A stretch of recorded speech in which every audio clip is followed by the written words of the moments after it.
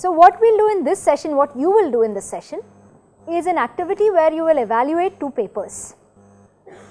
The goal of the activity is that two papers A and B will be given. They are on similar topics and the broad goal of the activity is to critically analyze and evaluate the two papers. So, this is the broad goal. So, let us see how to do it. Firstly, you need to form groups of two. So, you can just turn to your neighbor right now, pick a partner and shake hands with them, introduce yourself to them if you do not know who they are. Take a minute to do it, find a partner.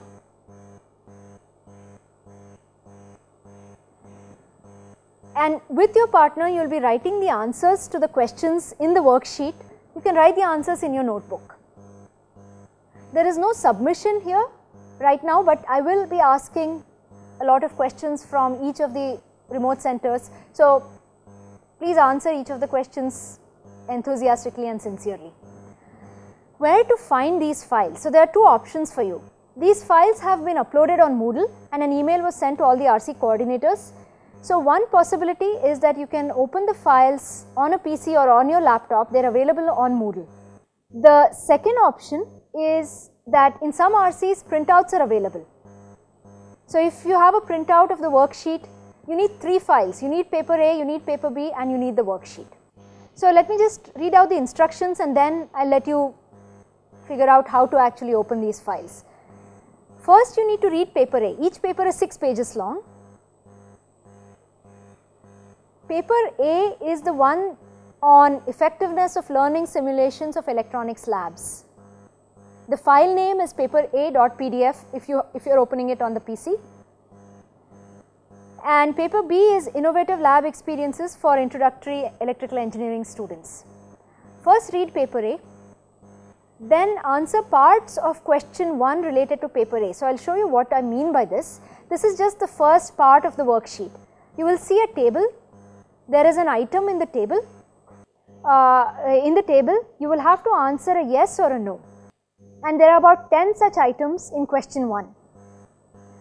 Similarly, there is questions 2, 3 and 4 where again you have to analyze the papers and the worksheet tells you precisely what to do with the paper. So, first read paper A and answer all questions related to paper A. Then read paper B and answer all parts of question related to paper B.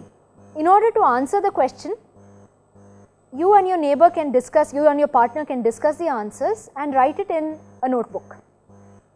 So, there is discuss, this is a pair activity. Once you have finished entire question 1 where you are comparing the two papers in terms of about 10 features, you need to go to question 2. And in question 2, the, again there are 3 parts. You must at least try to finish question 2 till the end of the activity. We will spend about 45 minutes on this activity you may need more time because it will take you about 15 minutes or so to read the paper. You can't simply skim through the paper, you have to really read it. The reason you have to read it carefully is if you look at question 1, it says locate the following items in the paper.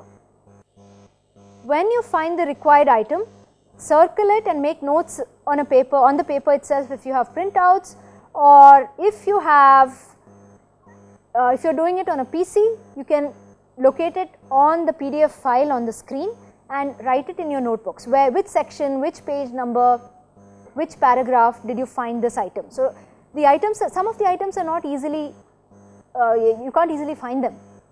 So, you really have to read it line by line and paragraph by paragraph in order to locate these items.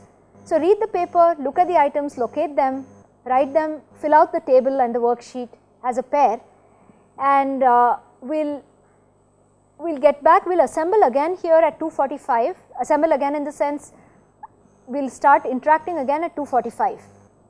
In the meantime, you have to do this activity and we can actually see what you are doing. So, please take this time to fill out the worksheet and do the activity. Okay, so what we will do in this session, what you will do in this session is an activity where you will evaluate two papers. The goal of the activity is that two papers A and B will be given. They are on similar topics and the broad goal of the activity is to critically analyze and evaluate the two papers. So, this is the broad goal. So, let us see how to do it. Firstly, you need to form groups of two. So, you can just turn to your neighbor right now, pick a partner and shake hands with them, introduce yourself to them if you do not know who they are. Take a minute to do it, find a partner.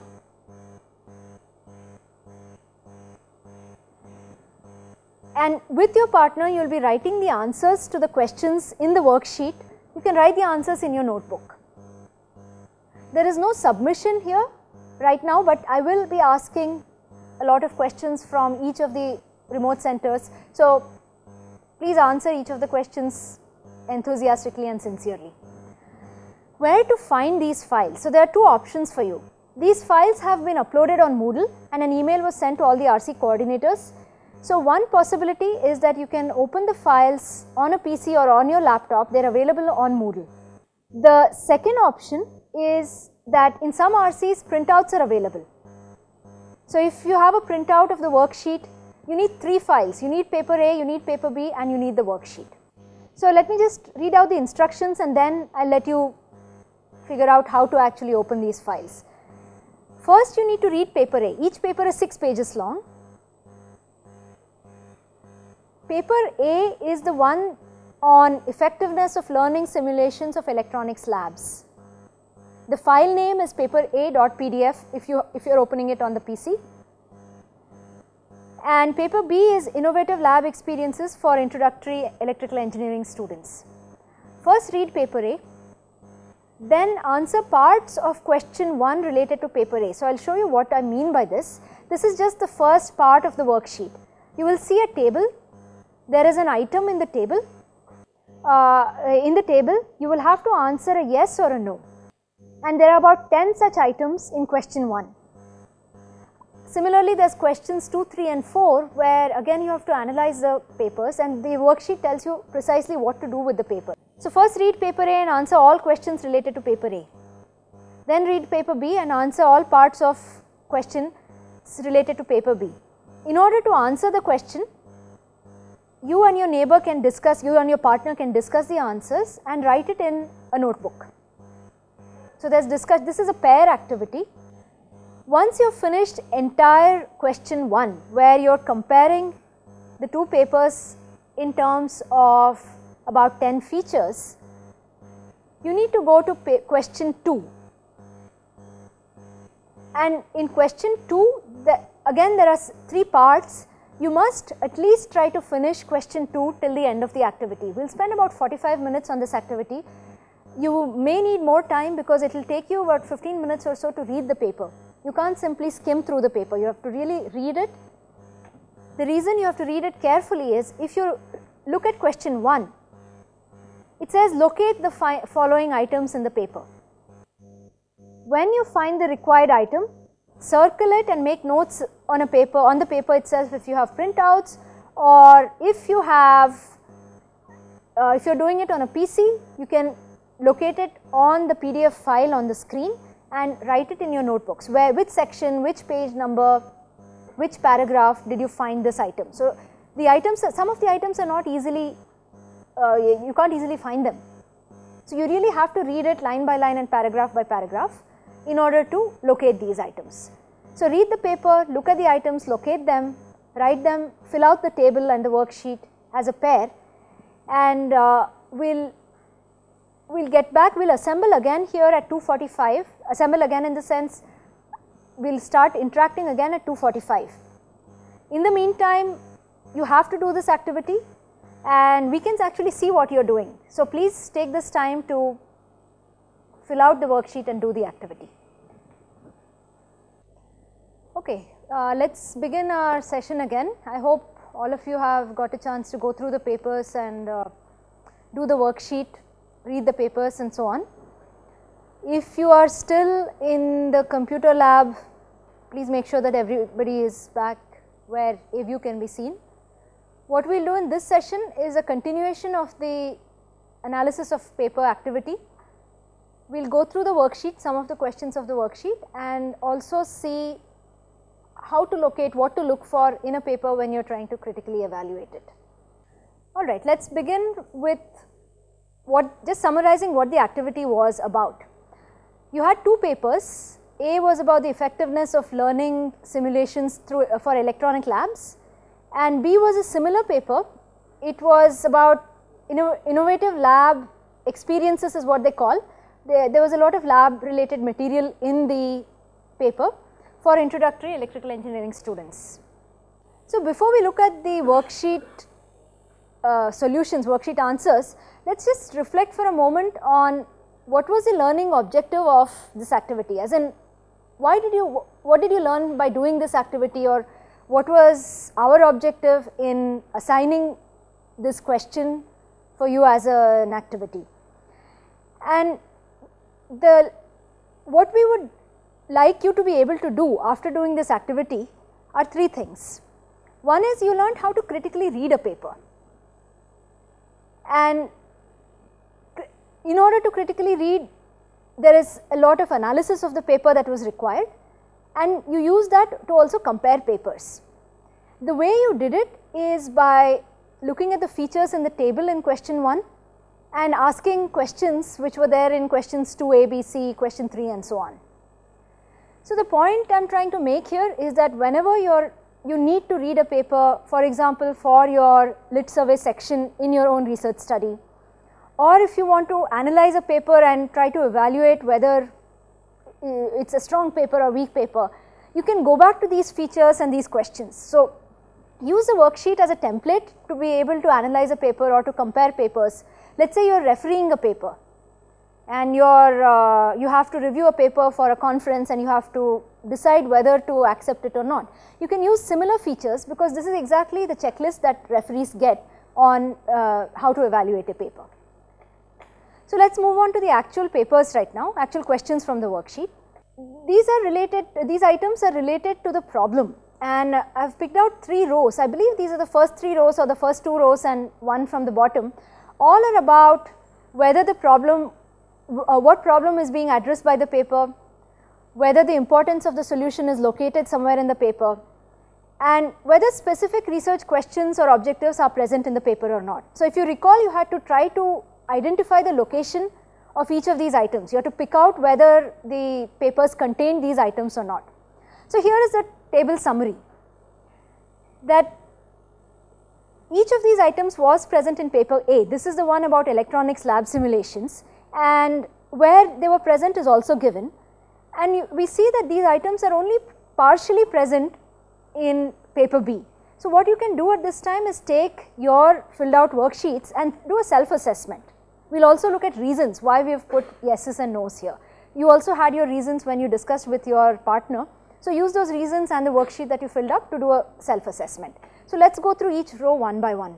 In a paper that we call as a strong paper or the features in a desire, the desirable features in a strong paper, we saw this earlier that the problem being addressed has to be there upfront. It has to be very clear which teaching learning issue is being addressed in the research study, what problem the authors are trying to solve and so on. So, if you look at paper A, the very first sentence in the abstract right below the title says that the work investigates the efficacy of software simulations of electronic circuit labs to support EE students. So, they set the stage right away and if you just look a little later in section 2, they repeat this in a slightly more detailed and precise manner. They say that the studies reported here investigate the extent to which lab simulations may replace electronic physical labs. So, the reader knows what the researchers have done and they also know what to expect in the rest of the parts of the paper. So, this, this is one of the starting points when you start thinking of a research study and that is what is the problem that is being addressed. Paper A does that quite clearly Paper B does it to some extent. Let us look at the next point. Fairly early on, the researchers have to establish why the problem is important. And if you look at paper A, in the introduction section, there was a sentence which says that, which talks about the benefits of electronic simulations. What are the benefits to students, what are the benefits in terms of cost and in terms of scheduling and so on. So, why are you trying to solve the problem that you have described is another point that you have to describe quite soon and in detail. The third point about problems is that after stating the broad problem, at some point you have to state the specific research objectives preferably in the form of questions because then they become very easy to answer. Again in paper A, if you look at section 4, the first paragraph of section 4, the two questions are precisely stated. To what extent will subjects who use the simulations with physical labs improve their performance? And a similar question. On the other hand, a weak paper might have a problem. It, it, most papers, most research studies do think of a problem, but it is not mentioned as concretely, precisely and as much in detail as we saw in the strong paper. So, a weak paper might mention a pro problem in a broad and fuzzy manner even if the authors have an intended goal in mind. What was done was mentioned in a very, it was mentioned, but the importance of the problem was not established. I think some small part of the slide seems to have gotten cut off here, but there is a sentence in paper B in the background section which tries to describe the problem. It says the paper describes new experiments and open-ended design pro projects and it tries to make a connection to the ABET criteria. But it is not clear why this problem is important and it is not clear what exactly is the research objective of the paper. So, to summarize, let us just go back a few slides. The three points about the problem have to be present in the manner described in a strong paper. By now, I am sure all of you are have, able, uh, have guessed and even maybe before uh, while you were doing your own worksheet you could have guessed which is a strong paper and which is not the strong paper. Okay, let us go to the go to one more point now. If you look at the next few rows of the table, it asks whether the paper that you read had prior work, had described prior work that had been done to solve the problem. It also asks about the gaps in the prior work, whether they were, they were established or not. So again you can look at the filled out worksheet, your filled out worksheet, compare with what is written here. I will just spend maybe a few seconds for you to look at this, but then we will look at each one in detail. Okay. In a strong paper, the related work is stated and analyzed. And what we mean by this is two points. If you look at paper A, section 2A, the, the section is called related work. Section 2 is called related work and section 2A is about the electronic simulations. The first two paragraphs of that section talk about other papers and other simulators which employ a solution approach very similar to what these, this paper has done. So, here the authors are talking about prior work that is related to the type of solution that they have implemented. If you go on to section 2b, it is called learning issues. The researchers talk about a number of motivations and number of theoretical aspects, educational theory aspects on which the simulations are based. So, they talk about uh, why or what are the features in their simulators which are based on different learning theories. That is also considered as related work. Moreover, if we go back to the other solutions, other similar solutions, we see that section 2a in paper A has a sentence which says that both circuit tutor and electronic workbench, these are the previous prior work, pre previous solutions. Both of these may reduce the cost and time of lab experiences and then they have a but. This but is very important because that is where they are trying to establish the gap.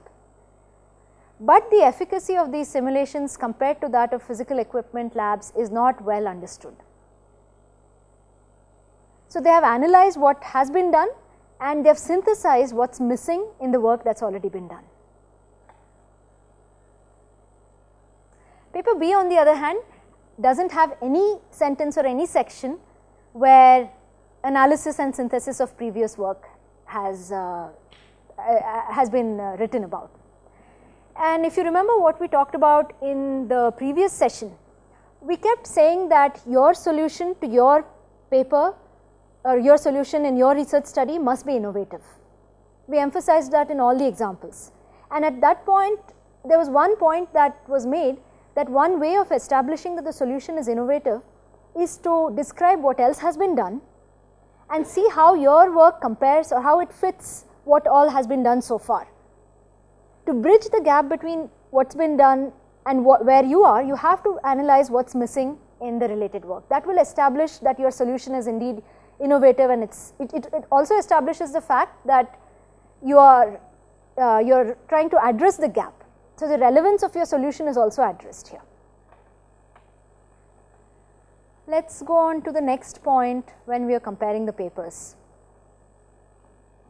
Okay, there were two items about in the table and these were about the solution, the description of the solution.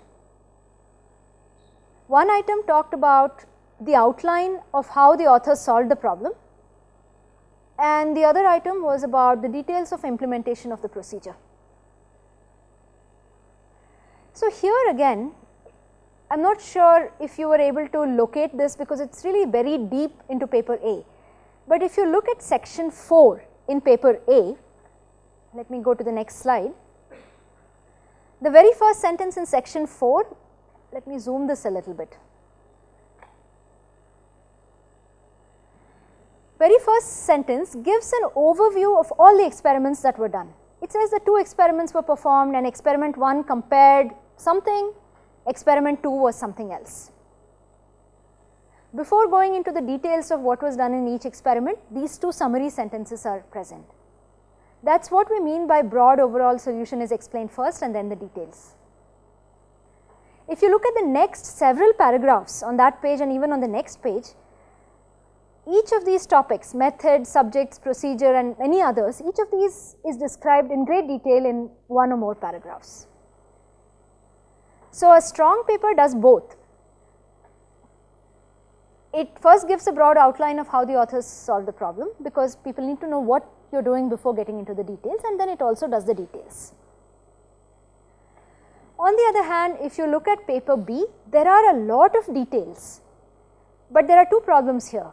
One is that all the details are related only to the development of the material. It talks in at great length about the types of labs that were developed, which circuits were used there, what components were used. But it does not make a connection to the problem that was stated initially and secondly it does not give the overall solution. So, we will come back to this point in a few minutes. What this paper B does not have is the thought process behind the solution. So, why did the researchers come up with the solution? Why do they think the solution should work? Why should it address the problem? So, even before, uh, before going into the details, the reader or the referee of the paper has to know why you as the person who is doing the research study came up with the solution to solve the problem. That is another way of talking about the broad outline of the paper. So, the weak paper usually has this part missing. On the other hand, the strong paper, when you read a strong paper, th this process is easily visible to the reader. So, when you are writing your papers, you have some idea behind why you are doing the research study and why you are implementing the specific solution that has to come out when you are talking of the solution approach. Okay, let us look at one more point that was there. Uh, there was an item which said do the papers have the educational theories on which the solution is based? And we will talk a lot more about this both a little bit today and a lot more next week. You will have to do some assignments related to educational theories because this part might be somewhat new to faculty members in engineering and computer science and the sciences. But we will start off here. If you look at paper A, they do talk about the learning theories and the learning issues on which their solution is based whereas this point is completely missing in paper B. We will come back to this point few more times. Okay. So, let us now come to the point about evaluation of the solution that is proposed by the authors. Again this is a feature that we talked quite at length in the previous session when we were looking at the different examples that one important feature that must be present is that the solution must show some evaluation. This and I think all of you would have immediately seen that paper A does this extensively because there are about 4 pages regarding the evaluation of the effectiveness. And I am not sure, take a moment and uh, think about if you have not done this yet, see if this was present in paper B. Something is written here, but if you have not read it yet, go back to the last paragraph, take a moment, read it and see if it actually, if the last paragraph in paper B indeed talks about the evaluation of the solution.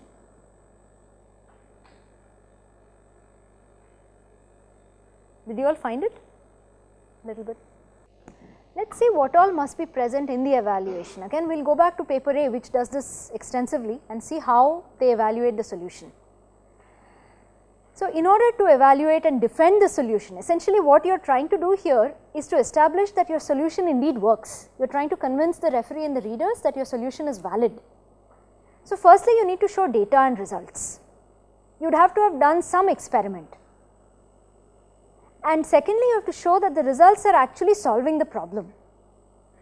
What we mean here is that the data that you collect and analyze must be understandable and typically in scientific papers results are in the forms of tables and graphs, tables or graphs and some explanations that go along with it.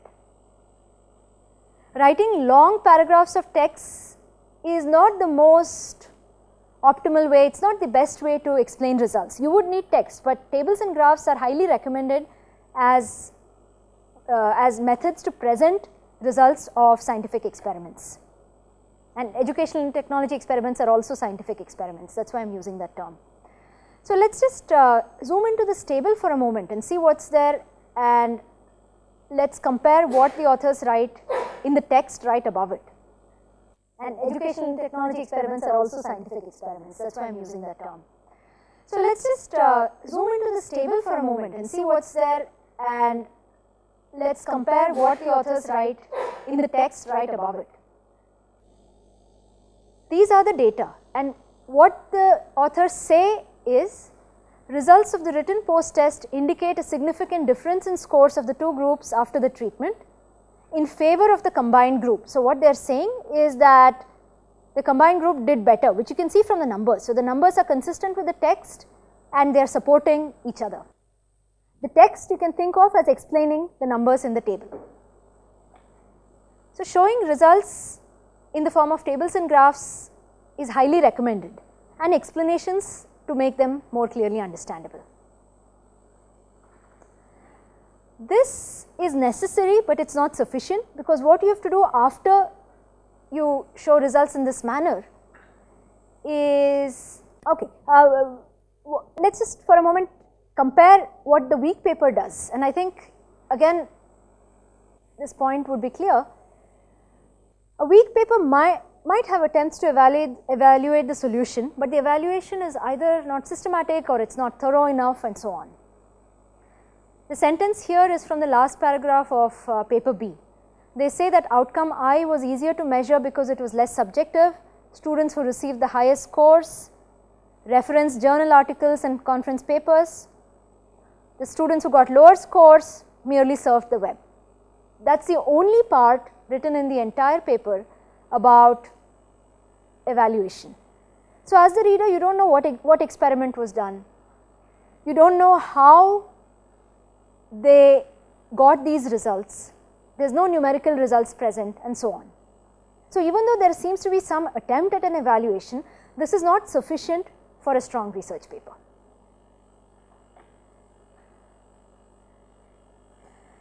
The second part about the results is that they should connect back to the research questions, they should be consistent. What we mean here is let us look at paper A somewhere on page uh, 1 I believe I don't there was a sentence which is the objective of their study. They say that our goal was to establish that the electronic lab simulation could practice results could produce results comparable to physical labs. Later when they, after they have done the, uh, they have analyzed the results, they have shown a table.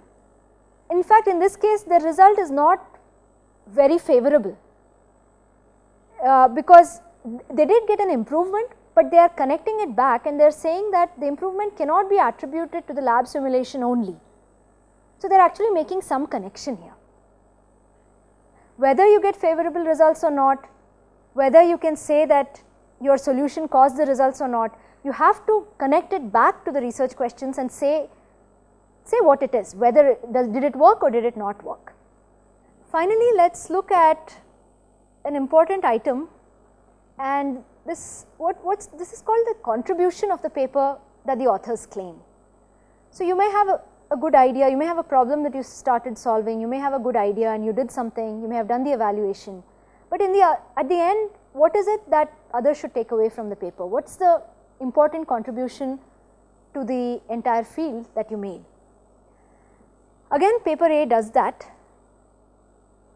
Uh, the last paragraph says tells the reader that after you read these studies you will have an idea. So, that is implied here that these studies provide an indication that there exists a simulation that yields learning at least equivalent to physical labs.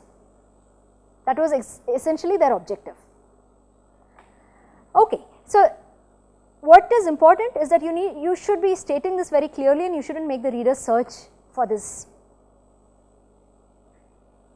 Weak paper on the other hand does not have a clearly stated research contribution even though there may be a contribution in terms of uh, teaching learning materials or in terms of effective teaching strategies, all these may be there. On the other hand, the research contribution may not be there very clearly. So, to summarize paper A and B, we go back to the very first session this morning and the goal was to go from ET practitioner to ET researcher what we see is that paper B is still at the ET practitioner, is still talking from the ET practitioner's perspective because they have developed a lot of lab materials. They may be effective, but they do not have any of the features that need to be present in a research paper. Paper B on the other hand has taken a teaching learning idea and has implemented the further steps to uh, uh, that will take it to a ET researcher perspective. I see a lot of chat messages which say that this last point seems to have been understood by all participants and that you got it before while solving uh, the worksheet. So, that is very good to see. Okay, so let us talk about a few other things that must be there in a well written paper. This was not there in any of the items, but let us just go through them. That a well written paper should have a consistent flow. We will talk a lot more about this in the next few sessions. Each of the pieces, each of the aspects of the study must be connected to each other. And this is the final summary of the features that must be there in a strong paper. Again, we are repeating this often because it is very important. This is what you need to keep in mind when you do your own research study. So, until now we looked at the we looked at question 1 of the worksheet and your task was to self assess whether your answers matched and uh, to see if your reasons were similar to the ones given and so on. If you have done so then it looks like you are on your way to becoming an ET researcher. You have taken the first step. There were some other questions in the worksheet. Which paper did a better job of analyzing prior work, which paper? And I see that all of you are already writing in the chat window that paper A was better in all of these. So, by now the answer should be very clear, but what is important, what you need to do is to think about the reasons that uh, because of which you gave the answer that paper A was better in terms of analyzing prior work, in terms of describing procedure and so on. So, when you get a new paper to analyze, you have to, you have to be able to answer these questions by looking at the features in the table. Okay, so let us actually, this was supposed to be an activity which got moved to a homework assignment and then it got moved back to an activity. So, this is an activity that you will do right now. you will start this activity right now and you will continue it over tea because we have from now until 4 pm to do this activity. You can continue your activity while drinking tea. It is an individual activity to begin with. So, by now you know all the features that must be present in a strong paper. The goal of this activity is to assess your own idea that you have submitted in the pre-workshop assignment and check if your idea contains all the features in the activity. So, let me repeat this again because what we are now asking is take what you learnt while analyzing others papers and apply that those knowledge and skills to your own idea, the idea that you have already submitted in the pre-workshop assignment. So, I will put up the table on this slide in a moment, but what there is one note I would like to make here. Uh, some of you at this point might have decided or might have come to a conclusion that you do not want to work with the same idea that you did in the pre-workshop assignment. So, this is a right time to change your idea if you would like. If you thought of a better idea while talking to your partner or if you got a better idea by looking at the examples in the morning, you can change your idea. So, if you think you want to work with a different or a better idea than what you submitted in the pre uh, workshop assignment, write your new idea first. If you want to work with the same idea that you did in the pre-workshop assignment, that is also fine. The reason I am repeating this is that the assignment that you will do from today evening onwards for the next coming week is also is an extension of the pre-workshop assignment. So, you need to have your idea concretely in place before you leave the workshop today.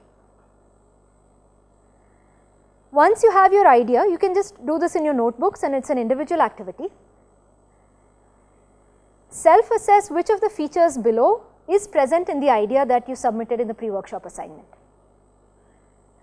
The criteria for self-assessment are given here and at this stage there is a there is a point that we need to make here.